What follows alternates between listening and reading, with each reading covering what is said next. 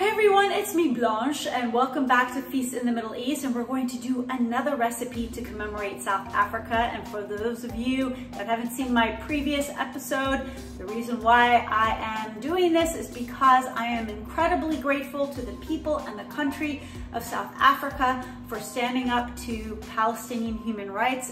It's been very difficult for me to post videos on here uh, just because I've just been really depressed to be honest and South Africa has given me hope in the future and sort of lit a spark in my brain and I thought, you know, why not just do a couple of videos commemorating South Africa and their cuisine and honor those people and that's why I'm doing this series. So I'm gonna start with bread here.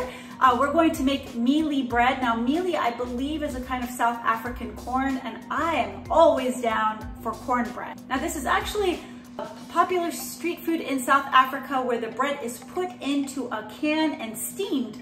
And I think that's such a neat way of making it, but I'm not really familiar with that method. So I'm just gonna do it the traditional way and put it in a baking pan and bake it in the oven, just like I do all my other quick breads.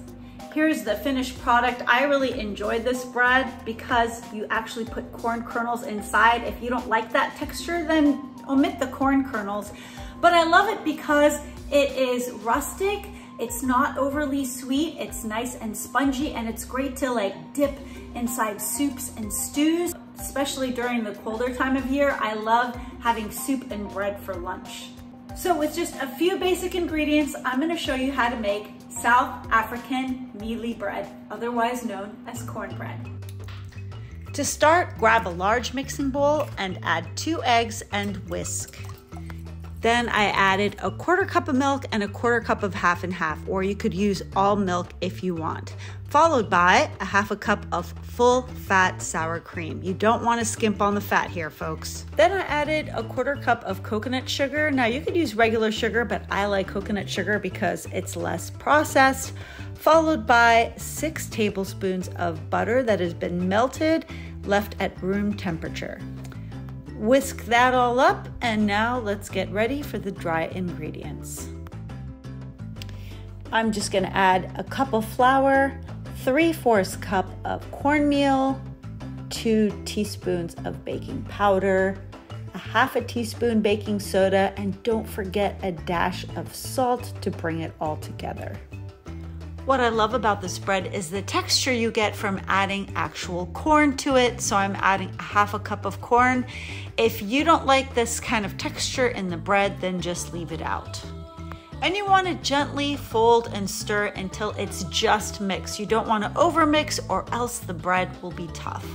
This is the number one rule with all quick breads. So I'm really impatient when it comes to baking stuff. So I'm putting it in an eight by eight baking dish that's been greased with butter. This is shorter to bake than if you put it into a bread pan. But by all means, if you wanna put it in a bread pan, you can do that. Just expect about 15 minutes more baking time. I baked it at 350 degrees for 30 minutes.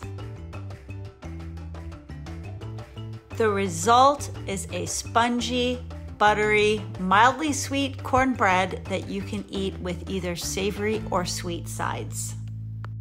I hope you enjoyed this series on South African cuisine. If you want me to do a deep dive on any other country, let me know because I love exploring cuisines of other countries, seeing what's popular to them, what's similar. Cooking for other people, it is a universal love language to me and I extend this love language to you. So I hope you subscribe, join our family, and if you haven't already, pick up a copy of my cookbook, Feast in the Middle East, which you can check out at feastinthemiddleeast.com. Until next time, may peace prevail.